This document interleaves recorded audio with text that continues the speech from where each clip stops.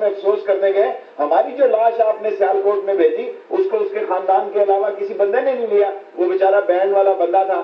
آپ اپنے ہم آپ کی آزادی کی اور آپ کے امن کی اب ضمانت ہے کیونکہ آپ کا دنیا سیاست میں جو رول ہے اس کے لیے ضروری ہے کہ آپ ہمارے ساتھ ایک اچھے ہمسائے کا سلوک کریں اور ہم آپ کے ساتھ ایک اچھے ہمسائے کا سلوک کریں۔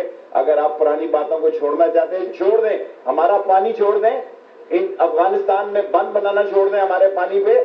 اور اگر آپ ہماری کھیتیوں کو اجاڑیں گے تو ایسی ایک سو ایک ملاقاتیں بھی شیخ راشد صاحب، کے لیے شیخ راشد صاحب کم سے کم ایک ثبوت ایک شریڈ آف ایویڈنس معاف کیجیے گا ایک شریڈ آف ایویڈنس جو تمام دعوے کیے جاتے رہے ہیں مگر صرف بھارت نہیں کہتا ہے Pakistan epicentre of terrorism ہے پاکستان آج کے تاریخ میں پوری دنیا میں شرمسار ہو رہا ہے۔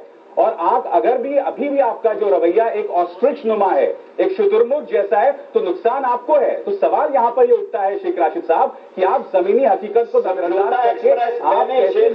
آگ نہیں لگائی تھی۔ سمجھوتا ایکسپریس شیخ رشید نے آگ نہیں لگائی تھی۔ آپ کے کرنل روہت نے خود ایکسپٹ کیا ہے کہ جب میں ریل منسٹر تھا میں ہیلی کاپٹر لے کے گیا میں بابا بارڈر پہ گیا۔ ہم نے تو آپ کا واقعہ بارڈر دس بجے تک کھول دیا گیارہ کس نے کرایا؟ کساب کو کس نے بھیجا؟ چھبیس گیارہ کس نے کرایا؟ آپ کے یہاں کمیشن اس کی لیے اس کو چھبیس گیارہ کہتے ہیں۔ ہم نے نہیں کروایا۔ اور جو آپ کہہ رہے ہیں ہم امریکہ کی مدد لے رہے ہیں۔ آپ کی فوج آپ امریکہ کے پیسے کے بنا زندہ نہیں رہ سکتے۔ آپ لوگ بال لے کے ہیں پیسے کے لیے۔ اور ٹھیک ہے شیخ صاحب شیخ صاحب یہاں پہ ابھی صاحب ابھی صاحب میں انٹرویو کروں ہم نے ایک بریک لینی ہے۔ ہم ایک بریک لیتے ہیں اور واپس آ کے ایک تھوڑی سی تاریخ میں کریکشن ہے۔ نان اسٹیٹ ایکٹر دہشت گردی جو ہے وہ کہاں شروع ہوئی تھی؟